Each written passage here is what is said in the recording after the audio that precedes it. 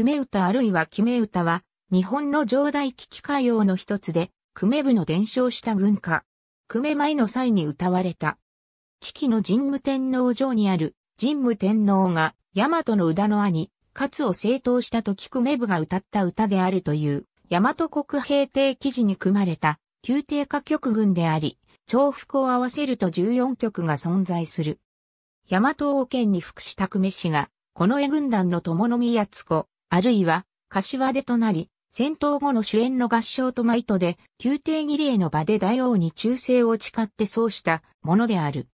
久米歌は勇壮な所作とともに、久米部の反応反良的性格を表現したもので、久米舞と合わせて、宮廷歌部の一つになり、儀式の際に演奏され、現在木内町楽部で歌部が行われている。日本書紀には、今、画譜に、これの歌を、総富士は、ナホデ領の大き正気、及び、音声の大き細きあり。これは、古の意識なりとある。学人による、久米歌は、天平商法12月、東大寺で、外来音楽と共に演奏されたのが、文献書室で、平安時代は、大城祭と夜明けせ地への雪の舞として用いられ、ご土帝天皇の代以降、行われず、1818年、任皇天皇即位の大礼の時に再興され、以後、天皇即位の大礼で演奏された。なお、1878年から1945年まで、紀元節の外苑で、豊明殿で行われた。高木一之助の説によると、久米歌には、打ちてしやまむという主題を伝えるために、青には草にら一本曽根が本曽根めつなぎってあるいは、柿下に植えし、小正口引くに植えし、三正口うずく、といった日常の身近な体験が根本にあり、我や忘れじ、我はや、植えぬという我の意志に基づいて行動している点に特色がある。そこには、士族の長として、士族院を統率して、戦闘を指揮しつつ、同時に、その率いる士族院と同じ濃厚生活を営んでいる英雄時代の族長を感じさせるものがあると述べられている。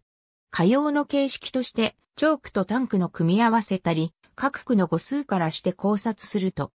超歌、短歌などの定型化の成立とさほど遠くはない時期にできたものだと考えられ、石本忠は歴史的に見て大和朝廷が台頭し、周囲の国家を征服し、半島にまで勢力を拡大した5世紀頃を想定している。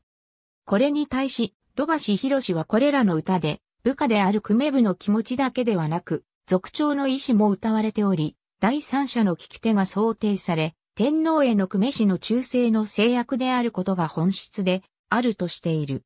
久米氏は大友氏に統率された状態で、久米部を率いた中将と物宮津子であり、大友氏は天皇に従属する豪族である、というヒエラルキーがある、というのである。また、和王部の上表文に、昔尻そいよいよ、ミラガ中央官らしい、山川を芭蕉し、寧書するにいとまあらず。東の片盲人55国を制し、西の片周囲66国を服し、渡り手、海の北の95国を平らぐとあるように、この時代の天皇は軍を先頭に立って率いており、地方の豪族でも従わない者を討伐していた。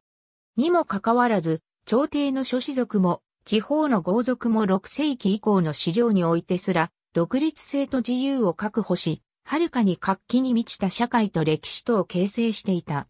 そこには、こうした歌謡が描写している日本の英雄時代を想定することができるというのが井上光貞の意見である。